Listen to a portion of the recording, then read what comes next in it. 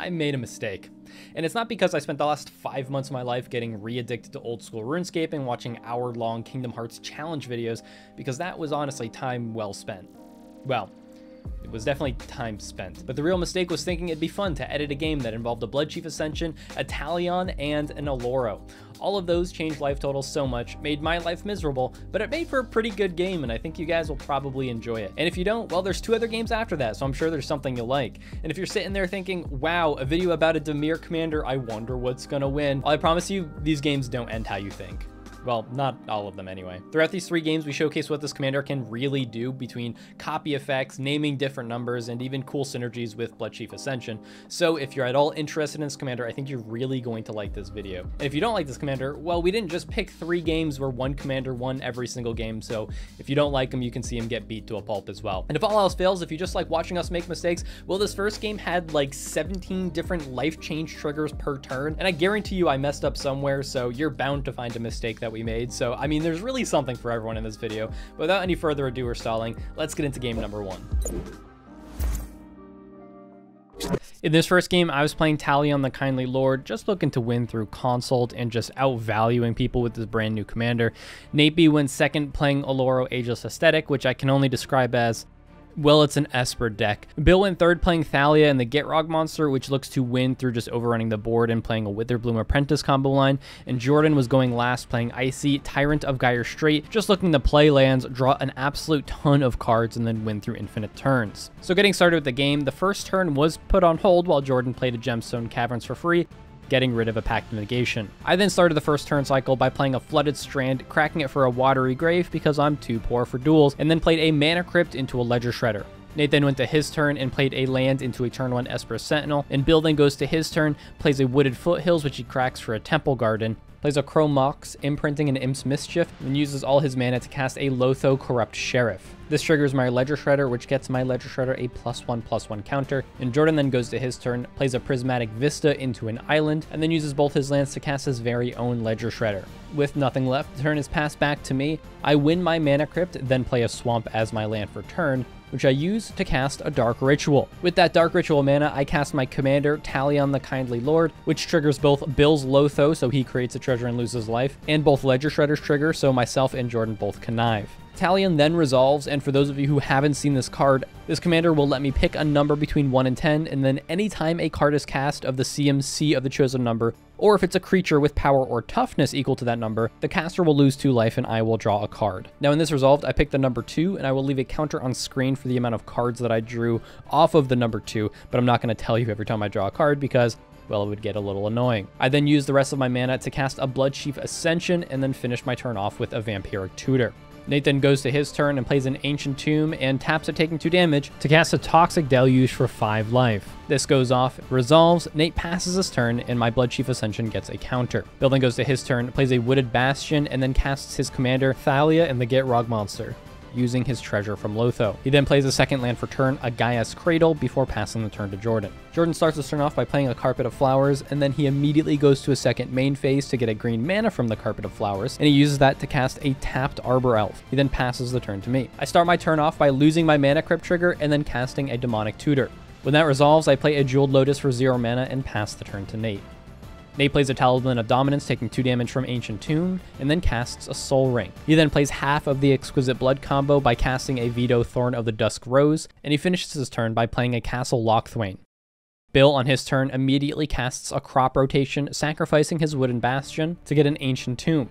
He then casts an Ohran Frostfang, taking 2 damage from the Ancient Tomb, and then goes to combat and swings his commander at me. On the attack trigger, he sacrifices his Temple Garden and draws a card. Damage is then dealt, Bill draws from Ohran Frostfang, and then wraps up his turn by playing a land. Due to the Ancient Tomb tap from earlier, when Bill passes the turn, the final counter is put onto Bloodchief's Ascension, so it is now online. Just as a heads up, this is going to trigger quite a bit, so just so I don't have to say it over and over again, I'm going to play a little sound effect every time Bloodchief's triggers for those who are just listening with audio. Jordan then goes to his turn and gets a green mana from his Carpet of Flowers and uses this to help cast a Ramunap Excavator. He then plays his Prismatic Vista from his graveyard tapped, and he then passes the turn. I again start my turn off by losing my Mana Crypt trigger, and I then play a tapped City of Brass. I then sacrifice my Jeweled Lotus to help recast my Commander Talion, again choosing 2 as it enters. I then pass to Nate. Nate goes to his turn, and due to Oloro existing, he gains 2 life, and since he has Vito on the battlefield, he chooses me to lose 2 life. Nate plays a tapped mana Confluence, and then tries to shove the other half of his Exquisite Blood combo. That being Exquisite Blood. He takes 2 damage from Ancient Tomb, and immediately in response to this, Jordan casts a Force of Negation, exiling an Unsubstantiate. With his wind stopped and nothing left to do, Nate passes the turn. Bill goes to his turn and immediately goes to combat, but before he swings, he uses life to cast a Noxious Revival, putting a land back to the top of his library. He then swings all of his available creatures at me, and on attack, he sacrifices a land to draw a card off of the Gitrog trigger. The combat damage is dealt. Bill draws two cards, and in his second main, he plays a Wooded Bastion as a land and finishes his turn off by casting a Deathrite Shaman. Jordan on his turn sacrifices his now untapped Prismatic Vista for a Forest, and he then casts a Finale of Devastation, X equaling 2. There are no responses to this, and he gets a Lotus Cobra to the battlefield. He then replays his Prismatic Vista from his graveyard due to his Excavator, and he then passes the turn. I go to my turn, winning my Mana Crypt trigger, and then playing a Mox Opal, playing an Ancient Tomb, and then passing the turn. As his turn starts, Nate gains 2 and he makes me lose 2, and he then overloads a Damn, successfully wiping the board of all creatures. He then follows up by casting a Talisman of Progress, taking two from Ancient Tomb, and finishes his turn by casting a Shadow Mage Infiltrator. He then passes the turn to Bill, and Bill, not having any of his creatures available and no real card draw engine, has nothing to do, and passes the turn to Jordan, who does exactly the same thing, which is nothing.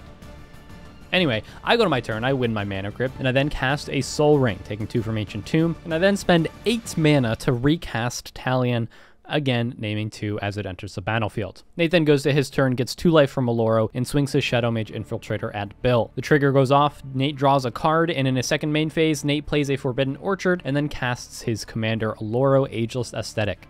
With nothing left, he passes to Bill, who is able to play a command tower as his land for turn before immediately passing to Jordan. Jordan plays a Verdant Catacombs, which he cracks along with his Prismatic Vista to get a forest and an island to cast his commander, Aesi the Tyrant of the Gyre Strait. He then passes to me. I win my Mana Crypt trigger on my upkeep and then cast a Dimir Signet. I then cast a Phantasmal Image, and when it enters the battlefield, I get a copy of Oloro. Now, for those of you who don't know, Oloro does have extra text because he's not just in the command zone all the time. Whenever you gain life, you can pay one mana to draw a card, then your opponents lose life. When combined with a fully stacked Bloodchief Ascension, eh, that works out pretty well, especially when he only costs 2 mana. Before this goes off, however, Bill, not wanting me to draw an extra card off of this, casts an Eladamri's Call, tutoring up a Witherbloom Apprentice to his hand. Nathan goes to his turn, and when he gains 2 life from Oloro, he pays 1 mana to draw a card. He then plays a tapped Hallowed Fountain before going to combat and swinging his Shadow Mage Infiltrator at Bill. He draws a card off of that trigger, and in his second main phase, he casts a Preordain. When this hits the graveyard, he loses 2 life from Bloodchief Ascension. I gain 2 life and pay 1 mana to draw a card. With the Preordain resolved, he then passes the turn to Bill. Bill starts his turn off by casting a Toxic Deluge for 5, because apparently me drawing like three cards on everyone's turn is a little bad for him, I guess. But in response to this Toxic Deluge, I cast a Lim-Dûl's Vault. In response to the Lim-Dûls, Nate casts a Mana Drain, successfully countering the Lim-Dûls, but not before I draw a card from Talion, and then draw another card from Oloro when Mana Drain hits the graveyard. The Toxic Deluge then goes off, and the creatures are then all destroyed yet again. This is the third board wipe in this game. With all that carnage finished, Bill then passes to Jordan, plays a Mystic Sanctuary as his land, does not have enough islands to trigger it, and passes to me. I again win my Mana Crypt and then just go right back at it by playing an Underground River and then paying 10 mana to recast my commander. With nothing left, I pass to Nate, who, on his turn, plays a Mystic Remora, a tapped Watery Grave, then he activates Castle Locthwain losing 3 life from the activation resolving. Bill goes to his turn, plays a snow-covered plains, and then passes to Jordan.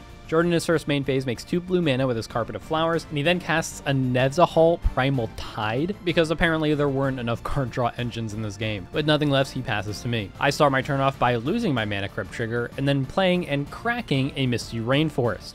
In response to this crack, Bill plays an opposition agent. Now, he's able to look through my library and also technically my hand, but at this point the only tutorable land I had was an island, so Bill gets a basic island. I then finish off my turn by playing a Fairy Mastermind, apparently forgetting to tap blue mana for it, but I assure you I had plenty of mana. With nothing left, I pass to Nate. Nate pays for Remora and then casts a Crested Sunmare. He then goes to his end step and creates a 5-5 horse because of course he gained life because he gains life every turn with Oloro.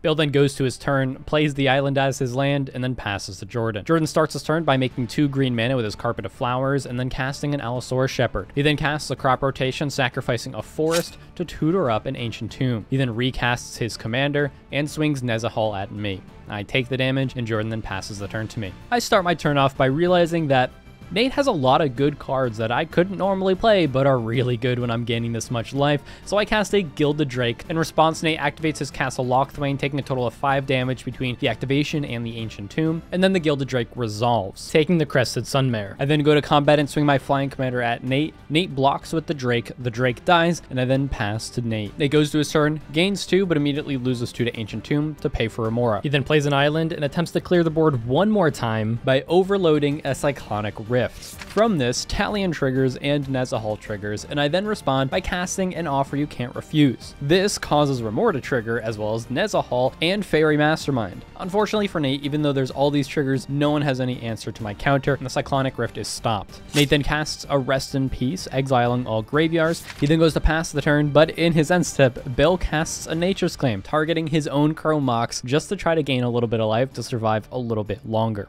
Between all the triggers, Jordan and Nate both draw. However, Bloodchief's Ascension does not trigger due to the Rest in Peace effectively turning it off since nothing technically hits the graveyard anymore. So Bill then goes to his turn, and he starts his turn off by casting a Diabolic Intent. There's so many triggers here, a Nezahal, Remora, and a Talion trigger, so a lot of people draw, and Bill loses 2 life. He then casts a Culling Ritual. Again, Nezahal, Remora, and Mastermind trigger this time. And in response to this cast, Nate decides to sacrifice all of the treasures that he has, floating all of the mana. Still in response to the Culling Ritual, I cast a Flusterstorm, all pointed at that Culling Ritual. This causes Remora and Nezahal to trigger, and in response to the Remora trigger, Nate casts an Enlightened Tutor. This triggers Nezahal, but when it resolves, he gets a Dress Down to the top of his library. He then draws it from his most recent Remora trigger. The Flusterstorm then resolves, successfully countering the Culling Ritual. Everyone then draws all of the cards from the triggers that were above that. With nothing left, Bill then passes the turn. Jordan starts his turn off by making three green mana with Carpet of Flowers. He then plays a Command Tower, which draws him a card from his commander. He then plays a second land, a Waterlogged Grove, which also draws him a card. He then casts a Green Sun Zenith for X equaling 5. He takes 2 damage from Ancient Tomb and the Remora triggers, and in response to this, Nate casts a Dress Down, taking one from his Mana Confluence in order to try to stop everything that Jordan might be doing. At this point, we were pretty scared of a Kodama Quirion Ranger line. So in response to the Dress Down, Jordan casts a Spell Pierce. This causes the Remora to trigger again, and in response to that Remora trigger, I cast a Dress Down. This has another set of triggers, a Remora trigger and a Nezahal trigger. In response to the Dress Down, Jordan casts a Veil of Summer. Now, this wouldn't protect him from the Dress Down, but it would protect a future counterspell from being stopped if he did have one. In response to the Veil of Summer, I cast a March of the Swirling Mist, exiling an additional blue card to help pay for the cost to target Allosaurus Shepherd, Jordan's commander, Nezahal, and Nate's horse token. This causes Remora and Nezahal to trigger, and in response to this cast, Jordan casts a Flusterstorm. This, again, triggers the Mystic Remora. But then the Flusterstorm successfully counters the March of Swirling Mists, but in response to the Veil of Summer, I decide to cast a Demonic Consultation.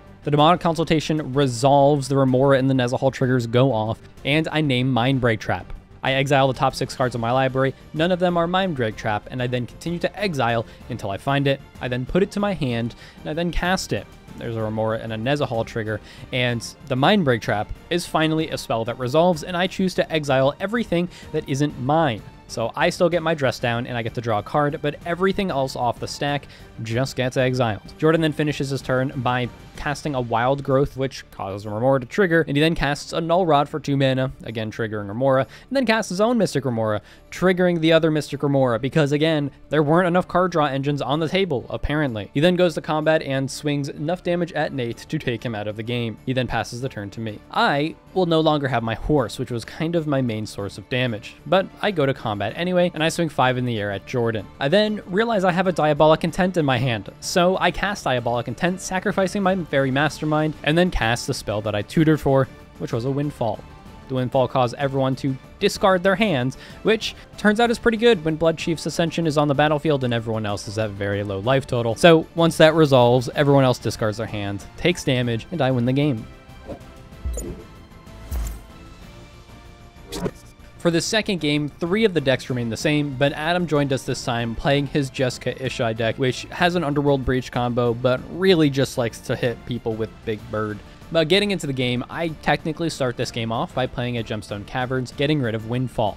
And then the real turn one starts, and everyone has a fairly fair opening hand of magic. Adam plays a land into a soul Ring into an Arcane Signet. Jordan plays a land into a Mystic Remora, which I respond to by casting a Vampiric Tutor. And then it goes to my turn, I play a Swamp, and then cast a Dark Ritual, which triggers the Remora, into my Commander, turn 1 Talion. Again, just all very standard turn one things from all of us. But one thing I do want to note is I this is my second game playing Talion, and I was thinking, I named two all last game. Why not try one? And Adam pulls up his deck list and says, hey, here are the a million cards in my deck that are one CMC. You'll probably get a lot of value out of it. So I try naming one.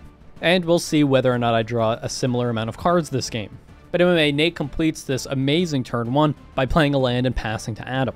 Adam plays an island as his land for turn, and then casts a phantasmal image. Now he only really has one target, so he copies Talion, and despite his insistence that one was going to be really good this game, names two. So I guess we'll see a side-by-side -side comparison, and you'll also see how easily I am manipulated. Adam then passes to Jordan, who pays for his Remora and then plays a tapped Breeding Pool. I then go to my turn and swing three in the air at Nate. I then go to pass the turn, and on my end step, Nate casts an Enlightened Tutor. This triggers my Talion and the Mystic Remora. However, in response to those triggers, I tap for two mana to attempt to flash out an Orcish Bowmaster.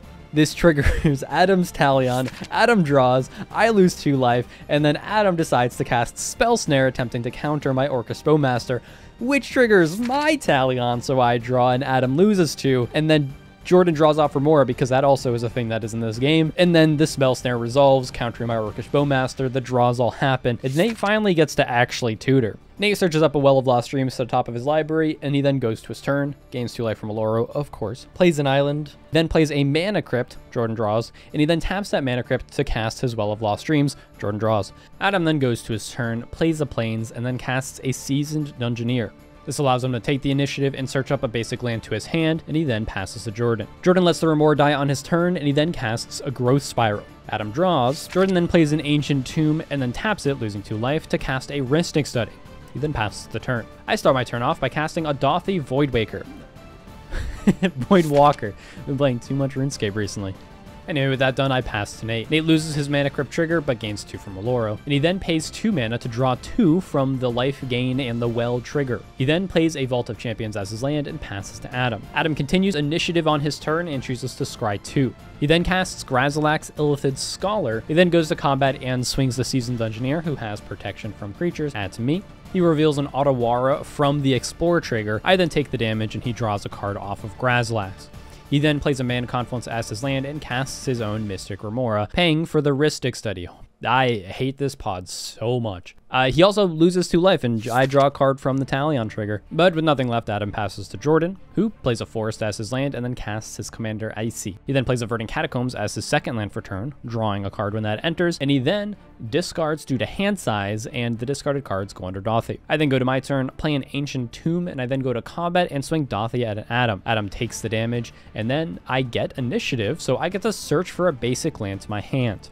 In response to the search, Jordan cracks his verdant catacombs, but before he can search up a land, I tap for 4 mana to cast a Notion Thief, taking 2 damage from Ancient Tomb not paying for Rhystic Study, and in response to this, Nate casts a delay, also not paying for Rhystic Study and also triggering Adam's Talion and his Mystic Remora. These draws all happen, the delay resolves, the Notion Thief is temporarily stopped, and Jordan finally gets his basic forest. Oh, and I also get a basic land to my hand, apparently. That happened this turn. With nothing left, I pass to Nate. Nate gains two, and Well of Lost Dreams allows him to draw additional cards, and he then loses his Mana Crypt trigger. He then plays an Ancient Tomb as his land for turn, takes a damage from Mana Confluence to help cast a Crested Sunmare. He then goes to his end step, and since he gained life, he gets a 5-5 Indestructible Horse. Adam then goes to his turn, lets his Mystic Remora die, and then swings the Seasoned Dungeoneer at me, re-getting initiative when it deals the combat damage, allowing him to go to the arena, which allows him to goad Dauthi Voidwalker. He then draws off the Grazilaxx and then plays a Serra Ascendant to end his turn. Jordan plays a Prismatic Vista and a tapped Field of the Dead. This allows him to draw two cards from his commander and also start making tutus due to the Field of the Dead being online now. He then casts an Azusa, taking two from Ancient Tomb, and plays a Nykthos Shrine to Nyx as another land. drawing a card, and he then plays a Misty Rainforest, again drawing a card. These both make two twos from Field of the Dead, and he then cracks two fetches in order to draw two more cards and get two more two twos. He gets basic islands with both of these searches, and he then casts a Mana Crypt. He then casts a Carpet of Flowers, which is a 1 CMC card, and he then plays a Trade Route. Now, for those of you who don't know, this pretty much is the combo piece needed to take infinite turns, assuming that Jordan had an extra turn spell and Mystic Sanctuary in his hand. So in response to this, Adam casts a Silence. This allows me to draw, Adam loses two, and then Jordan also draws because of the Rhystic Study. After the draws are done, Jordan casts a Fierce Guardianship attempting to protect his enchantment. In response to the Fierce, Adam casts a Flusterstorm. I draw a Talion, Adam loses two, and the storm count is six, all pointed at the Fierce Guardianship. In response to all of these copies, Jordan casts a Swan Song targeting the original Silence. I am able to draw from the 1CMC spell, and Adam then casts a miscast, again allowing me to draw. And watching this back, I'm now realizing that naming one on Talion might not be the worst thing in the world when you're playing against two control decks. Anyway, Adam pays for Rhystic Study, and before these draws can go off, Jordan, for free, casts a Mindbreak Trap, targeting the miscast and the Silence. The Mindbreak trap then resolves. Jordan then immediately goes to combat and swings Aesi at me. I take the damage, and then in his second main phase, Jordan overloads a Cyclonic Rift. Adam is able to draw from this, and due to that draw, he's able to pay a blue and exile two cards from his hand to help cast a March of Swirling Mists X equals 4. He does not pay for Rhystic Study, and Jordan is able to draw, and Jordan then loses one life to cast a Force of Will for free, countering the March of Swirling Mists. The Cyclonic Rift then goes off, Jordan's opponent's permanents are all bounced back to their hands, and Jordan then passes the turn. I go to my turn and I take 2 damage from tapping my Ancient Tomb to help cast a Gilded Drake, attempting to steal Aesi from Jordan. The Gilded Drake resolves and I then play a City of Brass, drawing a card, and then play to Sunken Ruins, again drawing a card. Then tap the City of Brass, taking 1 damage to help recast my commander from my hand, this time naming 2. I then go to the end of my turn and discard a healthy amount of cards due to all of the permanents being returned to my hand and drawing all of those cards. Nate then goes to his turn and gains 2 life from Oloro, and he then casts a Mana Crypt, allowing Jordan to draw. He then plays a City of Brass, and he then takes two from his Ancient Tomb to replay his Well of Lost Dreams. He then takes one from City of Brass and plays Lotho, Corrupt Sheriff. He does not pay for Rhystic Study, so Jordan and I both draw, and he then passes the turn to Adam.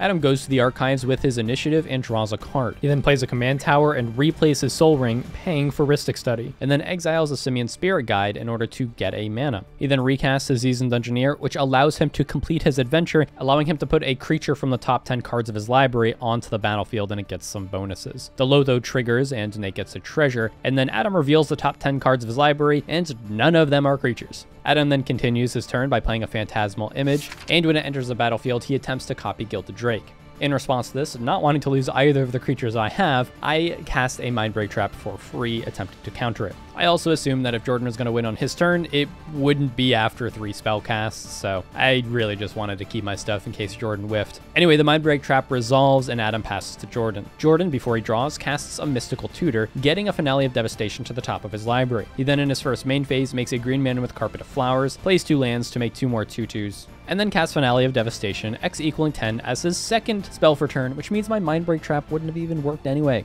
Jordan gets an Ashaya to the battlefield, and then he casts Quirion Ranger, which I guess I could have countered, but then even if the game didn't end, Adam would have my Aesi, so is the game really worth playing at that point?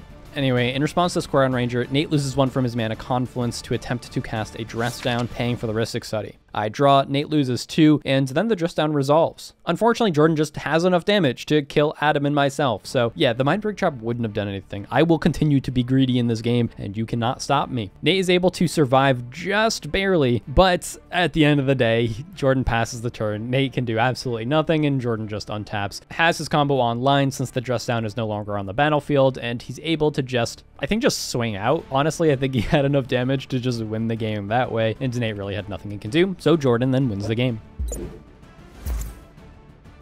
Now for game number three, the decks were relatively the same, although we got Bill back in with Thalia and Gitrog, and we swapped out Jeska Ishai for Nath. A summary of this deck is it's super mean and makes you never want to play Magic again and will probably send you off crying. That might just be a me thing, but anyway, this game starts off with Adam playing a Gemstone Caverns for free, since he's not going first, getting rid of a Fiend Artisan. The game then actually starts, I go first, playing a Misty Rainforest, which I crack to shock in a Watery Grave in order to cast a Mystic Remora. Nate then goes next, plays a Polluted Delta, which he cracks to also shock in a Watery Grave, and cast his own Mystic Remora. drawing me a card. Adam then goes to his turn and then plays a Twilight Mire, and then for two mana, just proves my earlier statement right, and plays a Chains of Mephistopheles. I forgot that this was turn one. Oh boy. With nothing left, he passes the turn to Bill. Bill plays a Wooded Foothills, which he cracks for an Overgrown Tomb. That might look like a Godless Shrine on his battlefield, but I promise you that it's not. Trust me, it's an Overgrown Tomb. Realistically, he had both of them in his hand and just wasn't thinking and put the wrong land down, and we let it slide because also none of us noticed. He then used that definitely real Overgrown Tomb to cast an Elves of Deep Shadow, and then passed the turn to me. I decide to let my Remora go to the graveyard because drawing cards of the Chains of Mephistopheles is a nightmare. I then cast a Soul Ring, Nate discards due to Chains, and then draws due to Remora. I then cast a Felwar Stone, Nate again discards and draws, and I then play a Spire of Industry as my land. With nothing left, I pass to Nate. Nate also lets his Remora go, plays a Command Tower as his land, and then passes to Adam. Adam starts his turn off by playing Carpet of Flowers, and then for one mana, he casts a Vampiric Tutor, which tutors a card to the top of his library, and he then passes to Bill. Bill now plays the Godless Shrine that he definitely didn't play last turn, and he follows it up by casting a Jeweled Lotus. He then cracks that Jeweled Lotus and takes one damage from his elves to cast his commander. With nothing left, he passes the turn. I start my turn off by casting Talion, this time naming two. And in response to this, Nate decides to cast an Enlightened Tutor. The Enlightened Tutor resolves and he searches a mana crypt to the top of his library. The Talion then resolves and I pass the turn to Nate. It goes to his turn and plays a Forbidden Orchard tapped due to the Thalia and Gitrog, and he then for zero mana plays a Mana Crypt. He then casts a Cabal Console of Allocation and passes the turn to Adam. Adam plays a tapped Bayou as his land for turn and then casts a Black Market Connections with help from his Carpet of Flowers mana. With nothing left, he passes to Bill. Bill decides to shock in a Temple Garden and then hold up some mana and passes the turn to me. I play an Ancient Tomb, tapped of course, and then take one from my Spire of Industry to cast a Chain of Vapor targeting the Chains of Mephistopheles. Cabal triggers, but the chain resolves and is not copied. I follow that up by casting a Sakashima of a Thousand Faces, copying my Talion since it allows you to copy legendary creatures, and in response to this ETB, Bill casts an Orcish Bowmasters. I'm able to draw from the original Talion, but then the Bowmaster resolves, and when it enters the battlefield, it deals one damage to Adam's face, and then the Sakashima resolves, copying Talion, and I name one.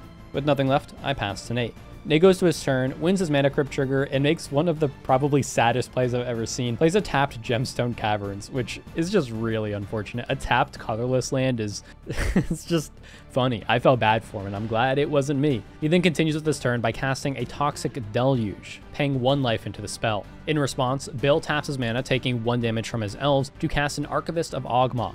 I draw, Bill takes two, and when I draw, the Orcish hits my face for one. The Archivist of Oghma then resolves, and the Toxic Deluge then resolves, clearing the board of all one toughness creatures. With nothing left, Nate passes to Adam. At the beginning of his pre-combat main phase, he chooses all three modes for his Black Market connections, getting a treasure token, losing life, drawing a card, losing two life, and creating a 3-2 colorless shapeshifter, losing three more life. He then plays a tapped Undermountain Adventure, getting the initiative and searching up a basic land to his hand.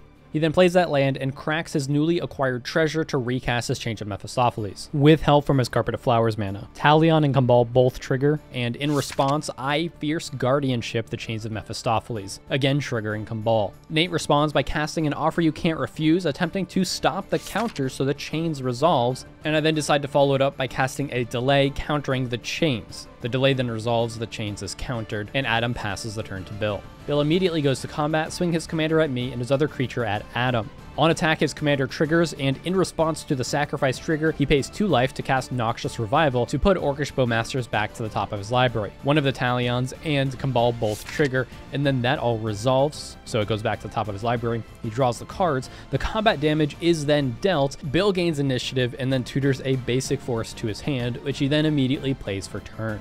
He then recasts his Orcish Bowmaster, triggering both Talions, taking 4 total damage. And the Bowmasters then resolve, and when they enter the battlefield, deal a damage to my face. Bill then casts a Witherbloom Apprentice, which triggers one of my Talions, and from that draw, Orcish hits my face again. With nothing left, he passes the turn to me. I start my turn off by playing a Lotus Petal, triggering Cabal, playing a command tower, and then casting a demonic tutor, again triggering Cabal. Archivist of Oghma also triggers, so Bill draws a card, and I've decided that I've been talking long enough, so this game's probably probably should just end, so I decide to cast a Thassa's Oracle. There are no responses, and in response to the ETB, I cast everyone's favorite card, Demonic Consultation. I name a card that's not in my library, exile my entire library, the Thassa's Oracle trigger then resolves, And since I have no cards in my library, I win the game. And here you were thinking you were to get a handful of games with no consult wins. I'm sorry. I just, I couldn't help myself. We were like six hours into this recording day, and I, I needed to do it at least one time.